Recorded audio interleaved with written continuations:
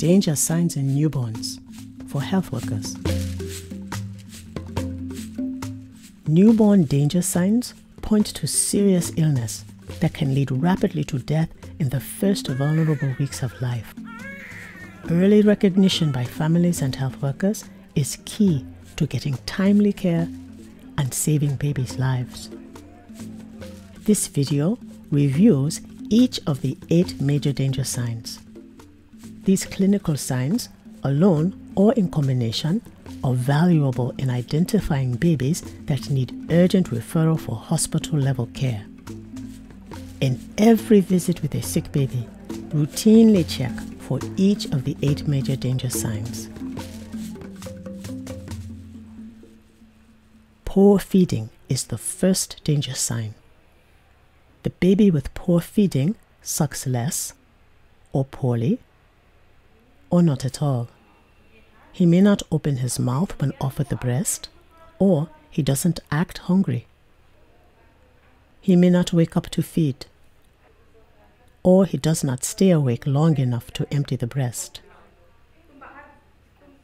Here, we compare a healthy baby.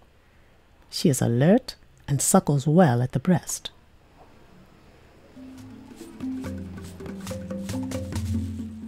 Lethargy is the second danger sign. Observe the baby's movements. A baby with lethargy will have less energy than normal and appear sluggish and drowsy. Try to wake the baby. Clap or rub a foot. Notice that the baby with lethargy doesn't wake up easily. Here, we compare a normal sleeping baby. When we try to wake him, even just by clapping, he reacts normally by fussing and crying. And then he stays awake. The baby with lethargy only moves when aroused, or he doesn't move at all. Lethargy and poor feeding often overlap. Convulsions are the third danger sign. Features of convulsions in a newborn are often subtle, such as a staring look, blinking of eyelids, and unusual movement of the lips. Convulsions can also be more obvious. In this baby, we see tight flexing of his feet and repetitive jerking of his arm.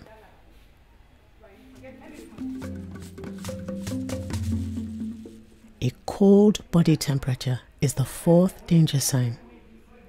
Compare the baby's body temperature to your own. If the baby's feet and belly are cold, the baby is too cold and may be very sick. A thermometer measuring less than 35.5 degrees is dangerously low. Warm the baby quickly through skin to skin contact on the mother's chest and cover them with blankets. If, after the baby is warmer, he still looks unwell, this is a danger sign.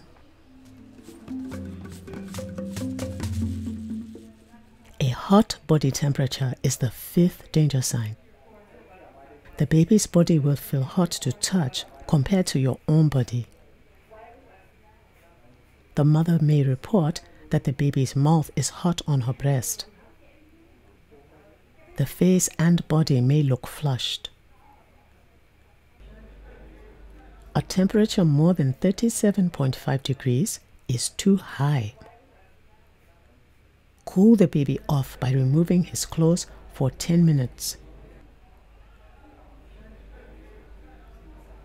If the baby is still too hot or looks unwell, this is a danger sign.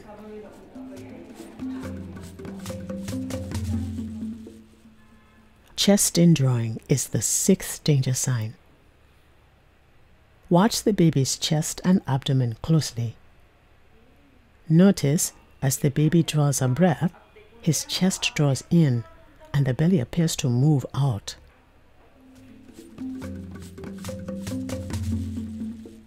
Fast breathing is the seventh danger sign.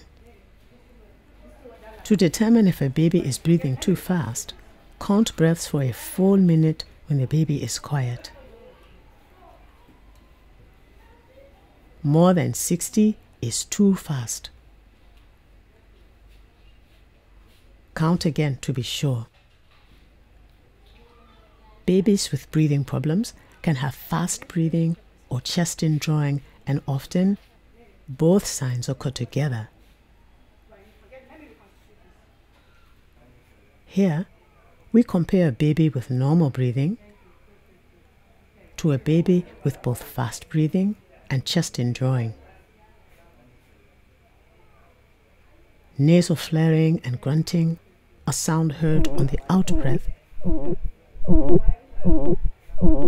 can also be present in a baby with severe breathing problems.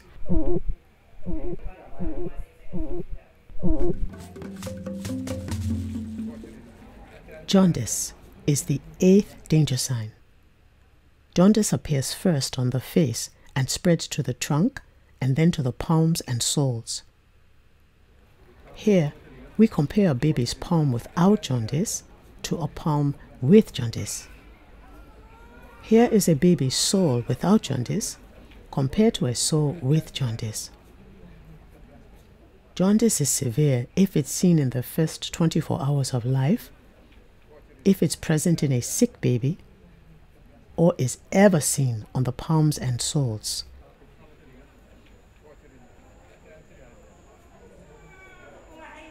A baby with any of the eight major danger signs needs to be referred right away to a higher level facility. Give the first doses of antibiotics before the baby leaves if you are able to. These babies will need intramuscular injections of ampicillin and gentamicin.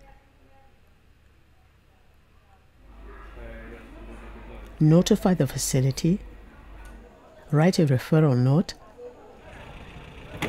and arrange transportation. Be sure the baby is fed often and kept warm through skin to skin contact throughout the trip.